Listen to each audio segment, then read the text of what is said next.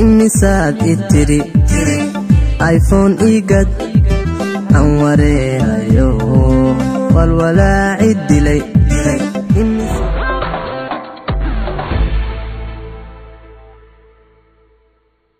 arrinta horta qalbi dhagax waa sharqo loo dhigay madaxweynaha farmaajo. Walaal u fiirsada saaki aroortii ayaan xaqiijiyay horta arrintan in cabdikariin qalbi dhagax loo dhiibay dowladda etoobiya taasoo dhacday arbacadii hore la soo dhaafay kadib markii aan la hadlay xubnaha ka tirsan oo ii sheegeen xubnaha ka tirsan reer soomaaliya oo ii sheegeen in etoobiya soomaaliya xiriir galeen. Laakiin horta qalbi dhagax waxaa la rabaa in lagu macaamilo.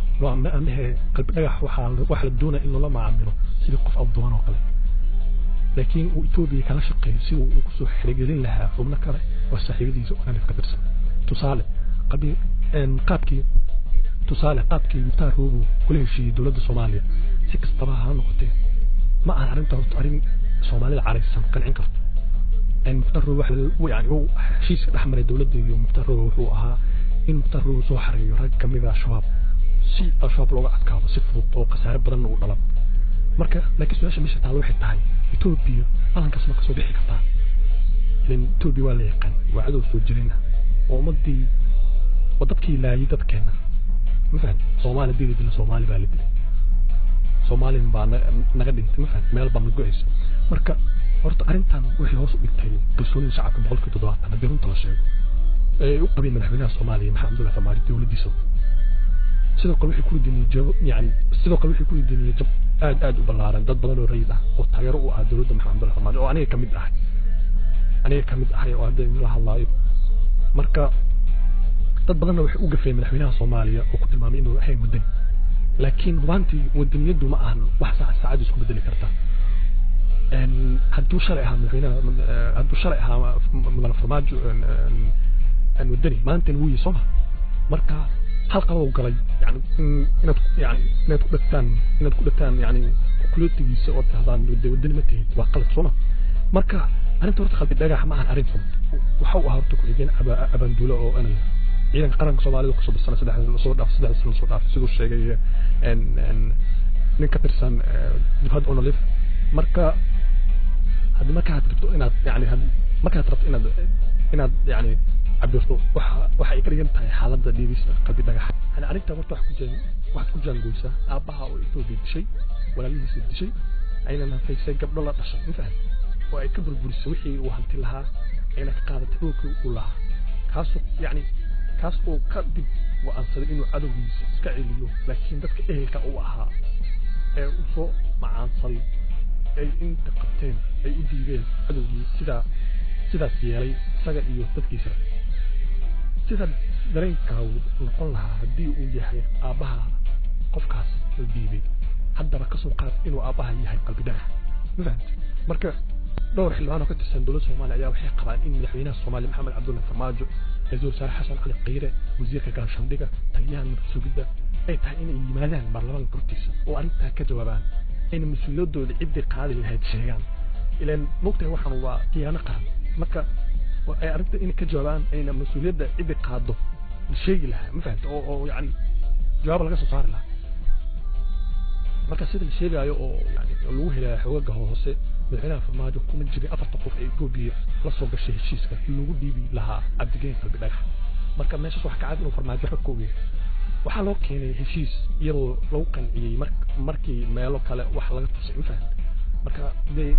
qofka biniaadan qalad waa gala meel baa wax laga tusay. Raggaas laba ka mid ah ayaa raacay diyaaraddii qalbi dhagax lagu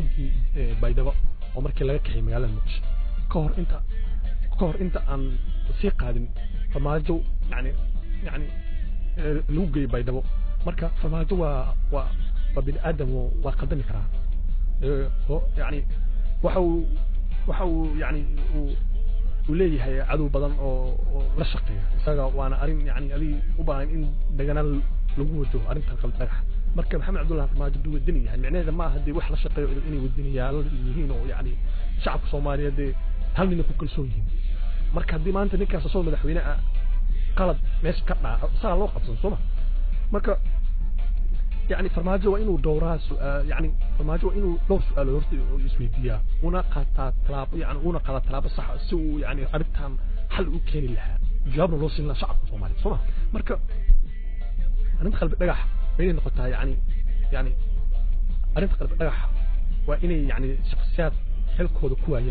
waa ku welibana aysan weligood dambe soo hostaagin shacabka soomaaliya. Ma fahanteen? Marka arrintan waa shirqool yani la alifay oo yani lagu talagalay farmaajo in lug lagu xiro yani lug lagu xiro oo yani yiri hal ku tagno. Meelna shacabka ka jira meelna cadow. Marka su'aalaha rabo in la isweydiiyo waxay tahay yani yaa afartan nin yani u xilsaaray heshiiska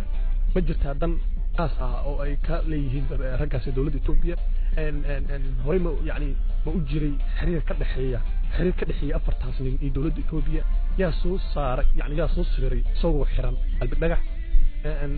Yaa sheegay in in lagu yiri markii baydhabo laga dejiyey ha cabsan waxaad u socotaa dalkaaga rasmiga ahaa ee Ethiopia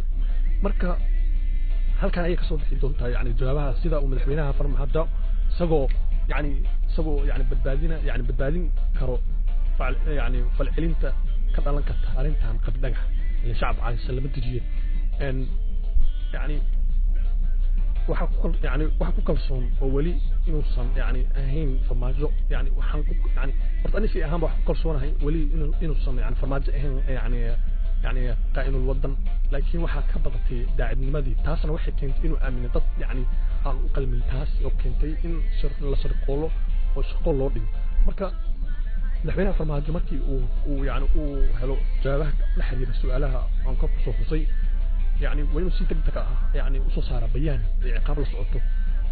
sida يعني inoo cadeeyo يعني يعني sida inuu يعني sida inoo cadeeyo ciddaysi hoolkan ka dambaysa inuu yani shaqada ka ceeriyo iyo inuu xabsiga u diro si loo xukumo raggaas halduruska ah ee shaqoolkan bay yani ay gaf geysteenna dee yani gaf bay u geysteen. Iyo gafkay u geysteen waajin qalbi dhagax ah. horta yani farmaajo waa inuu yani waa inuusan hadlin isagoo aan baaris samaynin oo aan ogaanin cidda shaqoolkan dhigtay qalbi dhagax yani ma aha muwaadin soo yani etoobiyaan waa nin soomaaliyeed. Yani macnaheedan maaha hadduu baasboor etoobiyaan wato inuu yahay nin etoobiyaan waraaqad kuma caddeyn karto yani qofka inuu yahay qof etoobiyaan nin soomaali ku hadlaayo farciisa inuu soomaali yahay. Dee waraaqad maxay ka tag waraaqada wax la jeexi karo oo biyaha lagu soo qoydi karo sooma marka farmaajo hadduusan arrintan ka fikirin si wanaagsan ugu fikirin يعني ماكو صوص سهر وقاعد اختب بين وعقاب يعني يعني مسين تبي شعبك مو ما انت بي وقاعدان اني لازم اسبح كتب بيحكوا نوي وعقابنا والله صاري. شعب تلين دي فرماجو هدو سمين الحمد لله. تبي سمين وإن يعني العقاب ودي يا وارين اد اد مركز يعني شعب وفرح لهاين مركز دي عندي أنا شعب الصوماليات انت فرماجه كسوينة. هدو كأمسو وصل لو لو لم لو هوت ما فهمت صومالي واحد كقشي ميلود مركز de beriskiisu buu cunay soo maha saa is ceebi saa sharafta isku yaal ma fahamta hadduusan arrintan yani iska badbaadin. De mustaqbalkiisi waa yani waxa u dhiman soo maha inuu xil dambe qaturtaa ka sugin yaa farmaajo dooranaya markaas.